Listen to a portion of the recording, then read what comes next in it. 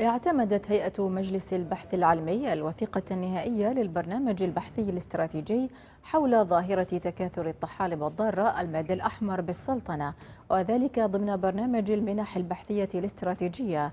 كما ناقش أعضاء الهيئة مقترح إنشاء منصة إلكترونية للبيانات المفتوحة بهدف الاستفادة من البيانات الضخمة التي يجمعها الباحثون في دفع عجلة البحث العلمي والابتكار وتشجيع المشاريع الإبداعية لدى الباحثين والمؤسسات الأكاديمية والبحثية.